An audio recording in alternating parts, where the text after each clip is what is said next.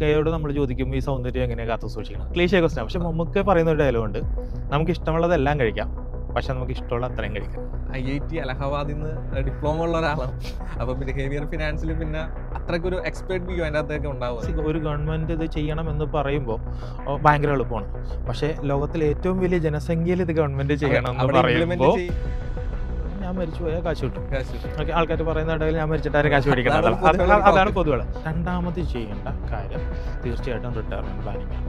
ഈ കൊറോണ കൊണ്ടുവന്ന കഴിഞ്ഞാൽ ഞാൻ കൊറോണയ്ക്ക് താങ്ക്സ് പറയും. റോബർട്ടിന് ഈ പൈസ മതിയാവില്ല അദ്ദേഹം റോബർട്ടിന് കാരണം ഒരു പതിനേഴ് വയസ്സുള്ളപ്പോഴത്തേക്കും ഞാൻ മ്യൂച്വൽ ഫണ്ടിനെ കുറിച്ച് കേട്ടിട്ടുണ്ട്. ഞാനും കേട്ടിട്ടില്ല. നമുക്ക് ഇന്നൊരു റഷ്യൻ പ്രോവർബിലൂടെ തുടങ്ങാം. സ്പെൻഡിങ് ഈസ് ക്യുക്ക് ഏണിങ് ഈസ് സ്ലോ നമ്മുടെ കയ്യിൽ ഒരു ക്രെഡിറ്റ് കാർഡോ ഡെബിറ്റ് കാർഡോ ഉണ്ടെങ്കിൽ ഒരൊറ്റ സൈപ്പ് കൊണ്ട് അല്ലെങ്കിൽ മൗസ് പോയിന്ററിന്റെ ഒരൊറ്റ ക്ലിക്ക് കൊണ്ട് അതും അല്ലെങ്കിൽ നമ്മുടെ കയ്യിലുള്ള സ്മാർട്ട് ഫോണിന്റെ ഒരൊറ്റ ടാപ്പ് കൊണ്ട് പതിനായിരങ്ങളോ ലക്ഷങ്ങളോ കോടികളോ നിമിഷ നേരം കൊണ്ട് സ്പെൻഡ് ചെയ്യാൻ വേണ്ടി പറ്റും. പക്ഷേ അതേ വേഗതയിൽ ഏൺ ചെയ്യുക എന്നുള്ളത് വളരെ ഡിഫിക്കൽട്ടായിട്ടുള്ളൊരു കാര്യമാണ്. എനിവേ സമ്പത്തിന്റെ വഴിയിലേക്ക് സ്വാഗതം. എന്റെ പേര് ജോഷിൻ. ഫിനാൻഷ്യൽ പ്ലാനിങ്ങിന്റെ വിവിധ തലങ്ങളെക്കുറിച്ചാണ് നമ്മൾ ഇന്ന് സംസാരിക്കുന്നത്. നമ്മോടൊപ്പം ഉള്ളത് സർട്ടിഫൈഡ് ഫൈനാൻഷ്യൽ പ്ലാനറായിട്ടുള്ള മിസ്റ്റർ മാനുവൽ ആണ്. മാനുവൽ വെൽക്കം ടു സമ്പത്തിന്റെ വഴി. താങ്ക്സ് ജോഷ്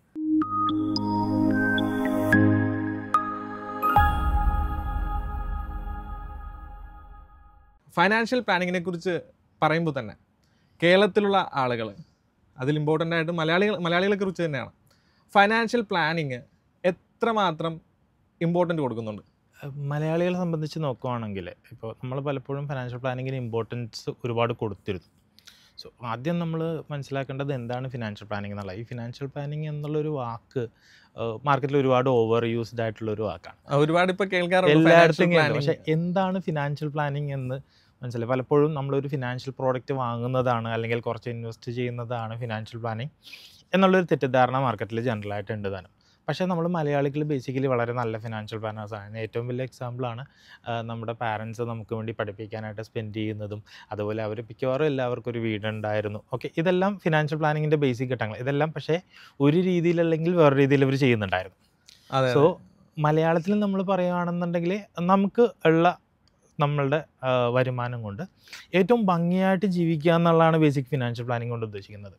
പക്ഷേ അതിനകത്ത് നമ്മൾ നോക്കേണ്ട കാര്യം എന്ന് പറഞ്ഞാൽ ഇന്നത്തെ ജീവിതം മാത്രമല്ല ഈ വരുമാനത്തിൽ നിന്ന് നമുക്ക് നാളത്തേക്കും കൂടി ഉള്ള ഭാവിയും കൂടി സുരക്ഷിതമാക്കാൻ വേണ്ടിയിട്ട് നമുക്ക് എന്തൊക്കെ ചെയ്യാൻ പറ്റുന്നത് ഇതാണ് ബേസിക്കലി ഫിനാൻഷ്യൽ പ്ലാനിങ് എന്ന് ഉദ്ദേശിക്കുന്നത് വളരെ സിമ്പിൾ ആയിട്ടുള്ള ഒരു കാര്യം. വിദ്യാഭ്യാസത്തിന് വേണ്ടി പാരന്റ്സ് ഇൻവെസ്റ്റ് ചെയ്യുന്നത് ഒരു കൾച്ചറിന്റെ ഭാഗമായിട്ട് മാത്രമല്ല ഫിനാൻഷ്യൽ പ്ലാനിങ് കൂടി അതിനകത്ത്. തീർച്ചയായിട്ടും തീർച്ചയായിട്ടും. അതുപോലെ തന്നെ നമ്മൾ പേഴ്സണൽ ബഡ്ജറ്റിലേക്ക് വന്നു കഴിഞ്ഞാൽ ഒരു സാധാരണക്കാരനായിട്ടുള്ള ഒരാൾ അല്ലെങ്കിൽ വ്യക്തിയോ ഫാമിലിയോ ആയിക്കോട്ടെ പേഴ്സണൽ ബഡ്ജറ്റ് പ്ലാൻ ചെയ്തിട്ടുണ്ടോ പ്ലാൻ ചെയ്യേണ്ട ആവശ്യമുണ്ടോ അല്ലെങ്കിൽ പ്രൊഫഷണൽ ആയിട്ടുള്ള ആൾക്കാർ മാത്രം ബഡ്ജറ്റ് പ്ലാൻ ചെയ്താൽ മതിയോ? ബഡ്ജറ്റിംഗ് എന്ന് പറയുന്നത് നമുക്ക് ഒരു ഫിനാൻഷ്യൽ പ്ലാനിങ്ങിന് മാത്രമല്ല നമ്മുടെ എല്ലാ കാര്യത്തിനും നമുക്ക് ബഡ്ജറ്റ് വേണം.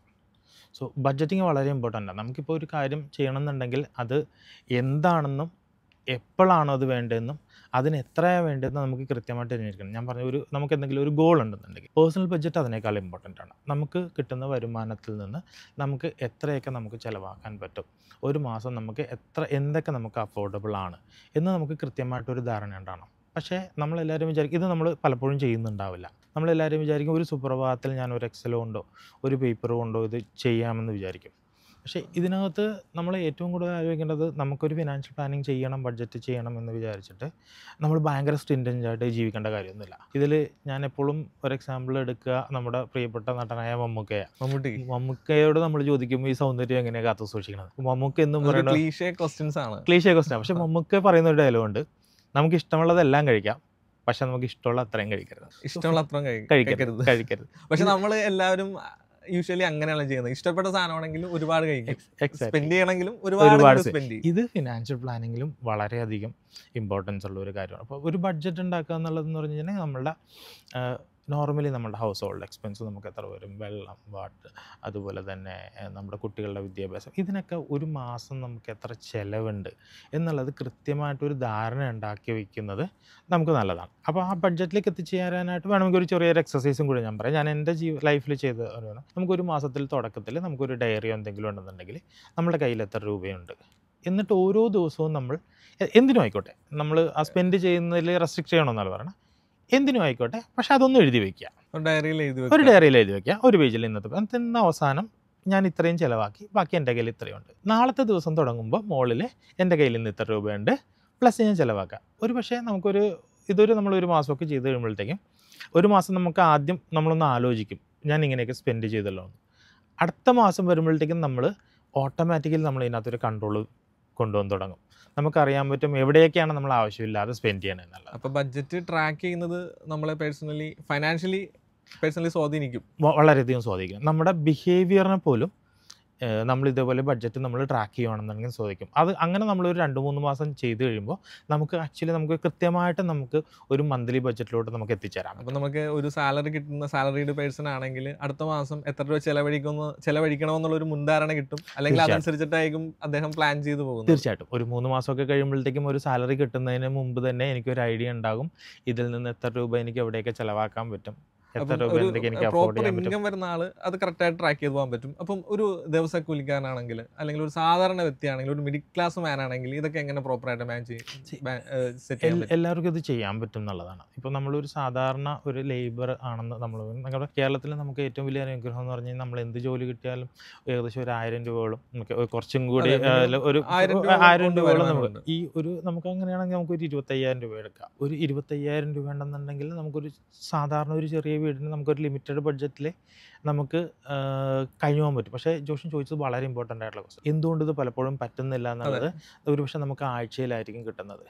നമ്മൾ ആ ആ വീക്കിലി എന്തൊക്കെ ചെയ്യാമെന്നായിരിക്കും നമ്മൾ ആലോചിക്കുക. ആ ഒരു മന്തിലേക്ക് മനസ്സിലായി. ഇത് ഒരുമിച്ച് ഒരു പക്ഷേ എനിക്കൊരു അയ്യായിരം രൂപ വെച്ചിട്ട് ഒരു അഞ്ച് പ്രാവശ്യം കിട്ടുന്നതിനേക്കാൾ കൂടുതൽ കാര്യങ്ങൾ എനിക്കിതൊരു ഇരുപതിനായിരം രൂപയായിട്ട് അല്ലെങ്കിൽ പതിനെട്ടായിരം രൂപയായിട്ട് എനിക്ക് ആ മാസാവസാനം കിട്ടിച്ചു അപ്പോൾ ഇത് ആ രീതിയിലോട്ട് ഇതിങ്ങനെ ഇങ്ങനെ ഒന്ന് കൺവേർട്ട് ചെയ്യാൻ പറ്റുകയാണെന്നുണ്ടെങ്കിൽ ആക്ച്വലി നമുക്ക് വളരെ നന്നായിട്ട് ബഡ്ജറ്റ് പ്ലാൻ ചെയ്യാൻ പറ്റും. അല്ലെന്നുണ്ടെങ്കിൽ നമ്മൾ ഈ പറഞ്ഞ ബഡ്ജറ്റിനെ ഈ ബഡ്ജറ്റിനെ നമുക്ക് നാലായിട്ട് സ്പ്ലിറ്റ് ചെയ്യാം. ഇപ്പോൾ വീക്ക്ലി പ്ലാനിൽ നിന്ന് ഒരു മന്ത്ലി പ്ലാനിലേക്ക് പോയി കഴിഞ്ഞാൽ ഒരു സക്സസ്ഫുൾ ആയിട്ട് മാറാൻ വേണ്ടി പറ്റും ബഡ്ജറ്റ്. പ്ലാനിങ്ങിൽ ഡെയിലി പ്ലാനിങ്ങിൽ നിന്ന് വീക്ക്ലി പ്ലാനിലോട്ട് വീക്കിലിൽ നിന്ന് മന്തിലേക്ക് പോവുകയാണെങ്കിൽ സക്സസ്ഫുൾ ആയിട്ട് പ്രോസസ് ആണ്. ഇതൊരു ഗ്രാജുവൽ ഈ പ്രോസസ് ഗ്രാജുവൽ പ്രോസസ്സിൽ സക്സസ് ഷുവർട്ടി ആണ്. ഷുവർ ആണ്. അപ്പോൾ അതുപോലെ തന്നെ പ്രധാനപ്പെട്ടതാണ് ഈ ഒരു ബഡ്ജറ്റ് പ്ലാൻ ചെയ്യുമ്പോൾ എന്തൊക്കെ കാര്യങ്ങളാണ് നമ്മൾ അതിൽ ഉൾപ്പെടുത്തേണ്ടത്? സി ഒരു ബഡ്ജറ്റ് പ്ലാൻ ചെയ്യുമ്പോൾ നമ്മൾ സത്യം പറഞ്ഞു കഴിഞ്ഞിട്ടുണ്ടെങ്കിൽ നമുക്കൊരു ഫിനാൻഷ്യൽ പ്ലാൻ ചെയ്യണം. നമുക്കൊരു ബഡ്ജറ്റിംഗ് വേണം എന്ന് പറഞ്ഞിട്ട് നമ്മുടെ ലൈഫ് ഓക്കെ ഇപ്പോൾ നമ്മൾ പലപ്പോഴും കേൾക്കാറുണ്ട്. നമ്മുടെ ലൈഫ് ഫിനാൻഷ്യലി ഇൻഡിപെൻഡന്റ് ആകാനായിട്ട് ആദ്യം ഭയങ്കര കൺട്രോൾ ചെയ്ത് നമ്മൾ അങ്ങനെയൊന്നും ഞാൻ ഒരിക്കലും പറയില്ല. നമുക്ക് ഇതിന് ഓരോന്നിനും നമുക്ക് എത്രത്തോളം സ്പെൻഡ് ചെയ്യാം എന്ന് നമുക്കൊരു ഐഡിയ ഉണ്ടാക്കുകയും നമ്മളതിൽ ഉറച്ചു നിൽക്കുകയും ചെയ്യുകയാണെന്നുണ്ടെങ്കിൽ ഓക്കെ? ലൈഫ് വളരെ സ്മൂത്തായിട്ട് പോകും. അപ്പോൾ ഒരു ബഡ്ജറ്റ് പ്ലാൻ ചെയ്യുമ്പോഴത്തേക്കും നമ്മൾ ഇത് ഇതെല്ലാം കൂടി. ഇപ്പം ഞാൻ ഒരു മാസത്തെ എനിക്കൊരു രണ്ട് സിനിമ കാണാൻ താല്പര്യം ഉണ്ടെന്നുണ്ടെങ്കിൽ ഞാൻ പറയുന്ന അതും എന്റെ ബഡ്ജറ്റിൽ ഇൻക്ലൂഡ് ചെയ്യണം. അതും ബഡ്ജറ്റിൽ തീർച്ചയായിട്ടും. ഞാൻ എനിക്ക് എനിക്ക് ഹോട്ടലിൽ പോയി മനസ്സിലായി. ഇന്നിപ്പോൾ ഇൻഫ്ലുവൻസ് അല്ലാത്തതാണ് നമ്മൾ ഒരുപാട് ഹോട്ടലുകൾ നമ്മൾ കാണുന്നുണ്ട്. തീർച്ചയായിട്ടും നമുക്ക് കഴിക്കാൻ ആഗ്രഹം ഉണ്ടാവും സി എനിക്ക് അങ്ങനെ ആഗ്രഹം ഉണ്ടെങ്കിൽ എന്റെ ബഡ്ജറ്റിൽ അത് ഇൻക്ലൂഡ് ചെയ്യും. ബഡ്ജറ്റിൽ ഒരു സാധനം ഇൻക്ലൂഡ് ചെയ്യാം ഒരു സാധനം ഇൻക്ലൂഡ് ചെയ്യാൻ പാടില്ല എന്നില്ല. ബഡ്ജറ്റിൽ. ഇതെല്ലാം ഇൻക്ലൂഡഡ് ആയിരിക്കണം. അപ്പോഴാണ് ഇതൊരു പെർഫെക്റ്റ് ബഡ്ജറ്റ് ഈ ദൈനംദിന കാര്യങ്ങളിലെ കേസ് പറഞ്ഞപ്പോൾ ഡയറി എഴുതുന്ന കേസ് പറഞ്ഞപ്പോൾ തന്നെ ഞാൻ നേരത്തെ ഈ ട്രാക്ക് ചെയ്യുമായിരുന്നു. ആപ്പുകളൊക്കെ ഇന്ന് അവൈലബിൾ ആണല്ലോ. പ്ലേ സ്റ്റോറിൽ നിന്ന് ആപ്പുകൾ കിട്ടും. പക്ഷേ ആദ്യമൊക്കെ നമ്മൾ പ്ലാൻ ചെയ്ത് പോകുമായിരുന്നു പിന്നീട് ആ ഒരു കൺസിസ്റ്റൻസി മെയിന്റെയിൻ ചെയ്യാൻ പറ്റില്ല എനിക്ക് തോന്നുന്നു പല ആൾക്കാർക്കും ആദ്യം ഡയറി ചെയ്തും ചിലപ്പോൾ ആപ്പുകളിൽ ട്രാക്ക് ചെയ്ത് പോകും പക്ഷേ ആ കൺസിസ്റ്റൻസി കൊണ്ടുപോകാൻ വേണ്ടി കഴിയുന്നില്ല. അതെന്തുകൊണ്ടാണ് അങ്ങനെ പറ്റുന്നത്? ഓക്കെ ഫിനാൻഷ്യൽ ഏറ്റവും ആദ്യം വേണ്ടത് നമ്മൾ ഫിനാൻസ് കൺട്രോൾ ചെയ്യണമെങ്കിൽ അല്ലെങ്കിൽ ഫിനാൻഷ്യലി നമുക്ക് നന്നായിട്ട് പോകണമെങ്കിൽ നമ്മൾ ആദ്യം ചെയ്യേണ്ടത് നമുക്ക് വേണ്ട ഡിസിപ്ലിനാണ് അത് നമ്മുടെ സേവിങ്സിലാണെങ്കിലും ഇൻവെസ്റ്റ്മെന്റിലാണെങ്കിലും സ്പെൻഡിങ്ങിലാണെങ്കിലും ആപ്പുകൾ ഒരു പരിധി വരെ നമ്മൾ ഒരു മാസം അവസാനം എടുത്തു നോക്കുമ്പോൾ ഒരു ഒരു ഡാഷ്ബോർഡിൽ നമുക്ക് ഞാൻ എന്ന ഇന്ന കാര്യത്തിന് എത്രയൊക്കെ സ്പെൻഡ് ചെയ്തു. ഒരു സെക്ടർ വൈസ് സെക്ടർ വൈസ് നമുക്ക് ഏതൊക്കെ കാറ്റഗറി വൈസ് നമുക്ക് കിട്ടും. അതിൽ നിന്ന് അത് ആക്ച്വലി നമുക്ക് റിയലൈസേഷൻ തരും. ഞാൻ അധികമായിട്ട് ഏതെങ്കിലും ഒരു കാറ്റഗറിയിൽ സ്പെൻഡ് ചെയ്യുന്നുണ്ടോ എന്നുള്ളത്. സോ ആപ്പിൾ ഡെഫിനറ്റ്ലി ഹെൽപ്ഫുൾ ആണ്. നമുക്ക് ഇന്ന് എല്ലാവരും മൊബൈൽ ഉപയോഗിക്കുന്നതാണ്.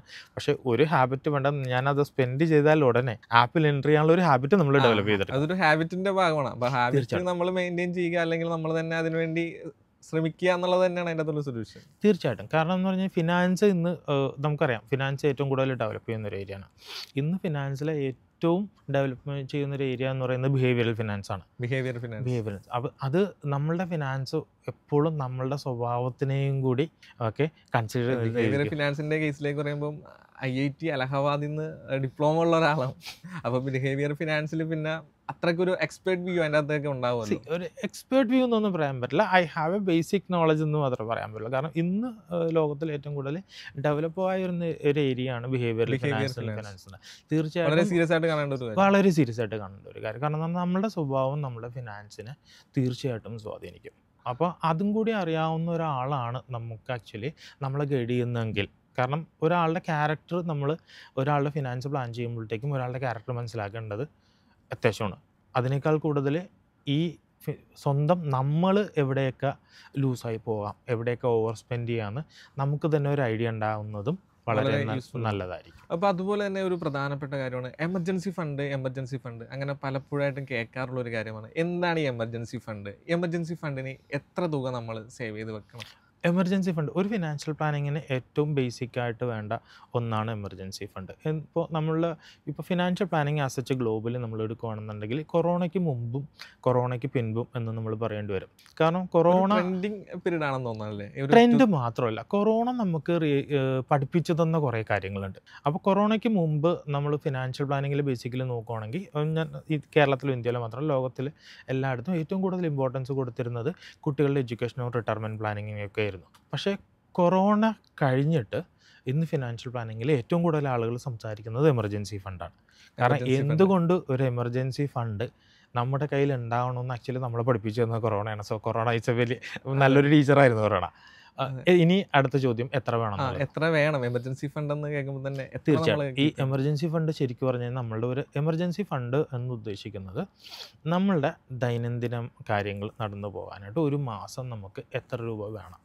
നമ്മൾ ബഡ്ജറ്റ് ചെയ്യുന്ന കാര്യം. ഈ ബഡ്ജറ്റിൽ നമുക്ക് ഒഴിവാക്കാൻ പറ്റുന്ന കുറച്ച് കാര്യങ്ങളാണ്. ചിലപ്പോൾ വേണം സിനിമക്ക് പോകുന്നത് അങ്ങനെയുള്ള ചില കാര്യങ്ങളൊക്കെ ചിലപ്പോൾ ഒഴിവാക്കാൻ പറ്റുമായിരിക്കും. ഇതെല്ലാം മാറ്റിയിട്ട് നമുക്ക് മിനിമം ഒരു ആറ് മാസം സപ്പോസ് എനിക്ക് ഇൻകം ഒന്നുമില്ലെങ്കിൽ എനിക്ക് ജീവിക്കാൻ ആവശ്യമായ തുക. ഇതാണ് ഒരുപാട് റിസ്ക് ഫാക്ടേഴ്സ് വരാം. ഒരുപാട് റിസ്ക് വരാം. നഷ്ടപ്പെടാം. അല്ലെങ്കിൽ അങ്ങനത്തെ മെഡിക്കൽ എമർജൻസി മെഡിക്കൽ എമർജൻസി. പറഞ്ഞത് വളരെ നല്ലൊരു പോയിന്റ് ആണ്. കാരണം എന്ന് പറഞ്ഞു കഴിഞ്ഞിട്ടുണ്ടെങ്കിൽ ഇപ്പോൾ ജോലി നഷ്ടപ്പെടാം എന്ന് പറഞ്ഞു കഴിഞ്ഞിട്ടുണ്ടെങ്കിൽ നമുക്ക് ജോലിയിൽ ആറ് മാസം കൊണ്ട് ഒരു ജോലി നമുക്ക് കണ്ടുപിടിക്കാൻ പറ്റും. അല്ലെങ്കിൽ നമുക്കൊരു വരുമാനം ഉണ്ടാക്കാനുള്ള സോഴ്സിലേക്ക് ഒരു ആറ് മാസം കൊണ്ടൊക്കെ നോർമലി എല്ലാവർക്കും എത്തിച്ചേരാൻ പറ്റും. പക്ഷേ ഈ മെഡിക്കൽ എമർജൻസി വന്നു കഴിഞ്ഞാൽ അങ്ങനെയല്ല. അപ്പോൾ എത്രത്തോളം ഒരു എമർജൻസി ഫണ്ട് ക്രിയേറ്റ് ചെയ്യുന്നു അതൊരു ആറ് മാസം മുതൽ പന്ത്രണ്ട് മാസം വരെ നമുക്ക് അഫോർഡ് ചെയ്യാവുന്ന രീതിയിൽ മിനിമം ആറ് മാസം വരെ. മിനിമം ആറ് മുതൽ. പന്ത്രണ്ട് മാസം. അപ്പൊ ഏകദേശം ഒരു വർഷത്തോളം ഒരു- ഒരു വർഷം- വൺ ഇയർ എന്നുള്ളൊരു ലെവലിലേക്ക് നമ്മൾ emergency fund hold six month one year എന്നുള്ള രീതിയിൽ നമുക്കൊരു എമർജൻസി ഫണ്ട് ഉണ്ടാക്കും. പക്ഷേ ഈ വൺ ഇയർ വരെയുള്ള എമർജൻസി ഫണ്ട് ഉണ്ടാക്കിയാലും ഇത് ഒരു വൺ ഷോട്ടിൽ ഇത് നമുക്ക് ചിലവാൻ ചാൻസ് ഉള്ളവരെ നമുക്കൊരു മെഡിക്കൽ എമർജൻസി വരിക എന്നുള്ളത്. സോ എമർജൻസി ഫണ്ട് ഉണ്ടാക്കുന്നതിനൊപ്പം തന്നെ നമുക്ക് ഒരു മെഡിക്കൽ എമർജൻസി കവർ ചെയ്യാനായിട്ടുള്ള ഒരു മെഡിക്കൽ ഇൻഷുറൻസും കൂടി ഇതിന് കൂടെ ഉണ്ടായിരിക്കണം. ഇമ്പോർട്ടന്റ് ആണ് ഹെൽത്ത് ഇൻഷുറൻസ് തന്നെയാണ് മെഡിക്കൽ ഏറ്റവും ആയിട്ടുള്ള കാര്യം. ഇവിടെ തെറ്റിദ്ധരിക്കപ്പെടുന്ന ഒരു വിഷയം എന്ന് പറഞ്ഞാൽ എനിക്ക് എന്തോരം ഇൻഷുറൻസ് കവറേജ് വേണം എന്നുള്ളതാണ്. എന്റെ മക്കളുടെ വിദ്യാഭ്യാസത്തിന് എത്ര വേണം? മക്കളുടെ മാരേജിന് എത്ര വേണം? എന്റെ ആബ്സെൻസിൽ എന്തൊക്കെ വേണം വേണം എന്നടക്കം അതിന് ഇന്നുള്ള വാല്യൂ അത് ഇൻവെസ്റ്റ് ചെയ്യാനുള്ള വാല്യൂ ലോകത്തെല്ലായിടത്തും പെൻഷൻ അല്ലെങ്കിൽ റിട്ടയർമെന്റ് പ്ലാൻ എന്ന് വർക്ക് ചെയ്യുന്നത് വർക്ക് ചെയ്യുന്നത് അതിന് മൂന്ന് ഭാഗങ്ങളാണുള്ളത്